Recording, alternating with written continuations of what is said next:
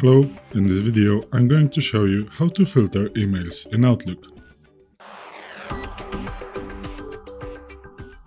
So, as you can see, I'm using the Outlook 365 version that comes as a part of an Office 365 and I'm also using the desktop application, so not the browser one, the desktop application. So, uh, if you want to filter emails, I can give you in this video some tips that uh, maybe are going to, and I think so that they are going to, you know, make your work a little bit easier and faster also. So, let's say that you have some emails that are that are less important and that are, you know, more important. That there are some emails that you need to read in the, you know, first and then you can read the other emails. So what you want to do is to create a new folder and let's say I'm going to create a new folder that is going to be called less important. Okay, now I do have this email right here and I'm going to put it in my favorites to have a quick access to it. And now let's say that this sender is a sender that is less important for me. As you can see, these are some, you know, um, sample messages. So whatever, they're just for this video. And let's say that this sender is just less important for me. So what you want to do and I want to put in in the section the new folder that I have created the less important folder. So let's say that this sender is the one that I want to put it there. Um, what I want to do right now is to right click on the message that he have sent me. It doesn't matter which message but the message that he have sent me. So right click and then we have rules and here we have uh, two roles that Outlook is giving us as an example and also we can create a role right here. But I want to always move messages from this sender. So let's click on this one. And now we need to select a folder um, to which we want to put these messages.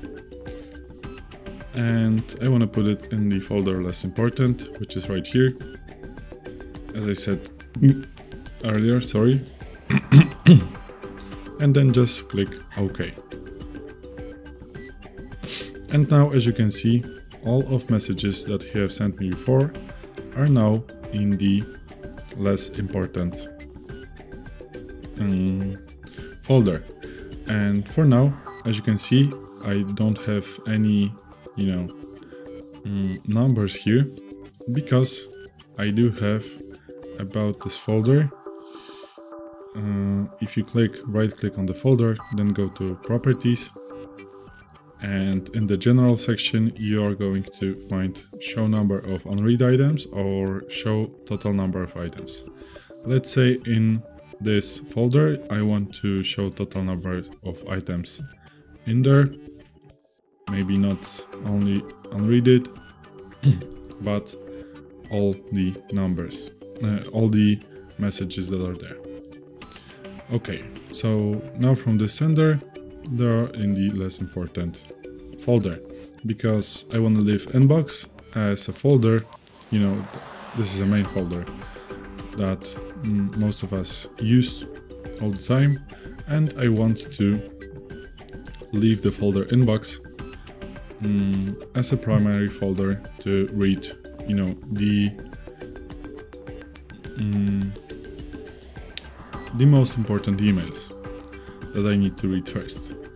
Okay, now let's say that I want to put some subject that uh, is not important for me in the same folder that we put the previous sender. So maybe let's say that I want to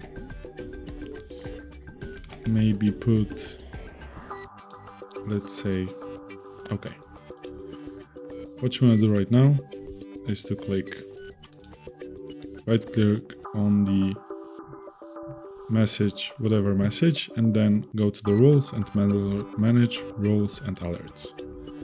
Now you're going to be in the um, rules and alerts window. And here you can create rules and you know manage them and do with them everything you want. And for now I want to create a new role mm, and I want to move messages with specific words in the subject to a folder because in many cases there are for example let's say the subject is PR or the subject is sales or the subject is whatever. I want to put with the specific words in the subject something to a folder. So I want to click on this one and then click next. And I want to specific words in the subject. There are a lot of conditions that are here, for example, with a specific words in the recipient's address or in the subject or body or even in the body itself, but I'm interested for now in the subject. You can choose from here whatever you want to and you can also mark, you know, many roles. But for now I just want the subject. Okay, uh, I forgot about something. So what you want to do is to click on a specific words and as you can see here we can specify words or phrases to search for in the subject and I want to be how to okay because I have some you know messages that have subject in that have in the subject how to. So let's click add and then click OK. And right now we can click next. And then you want to select stop processing more roles because you know they're going to if you do not select this uh, the outlook is going to process more roles after that so make sure to have it checked okay i don't know why it is here Okay, specified folder. Sorry.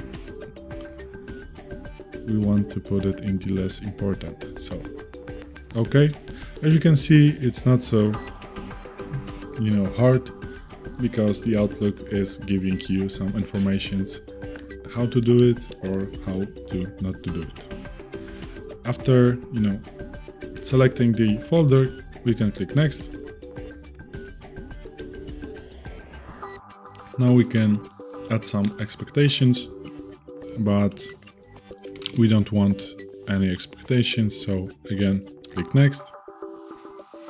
And now we can select run this rule now on messages already in the inbox or just turn on this rule from the specific moment that we are creating. I want to run this rule also in the messages already in the inbox. Let's click finish and then click apply. And now as you can see, I have even more messages in the less important folder.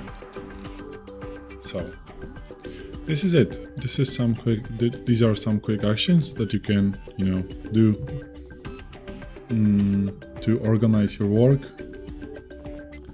And with the roles, you can create some pretty useful actions. We have another video on our channel about the rules, so you can go there and learn some, you know, more rules that are pretty useful in the Outlook. And this is it. Thanks for watching. I hope this video helped you. If it did, please hit a like and consider to subscribe to our channel. Bye!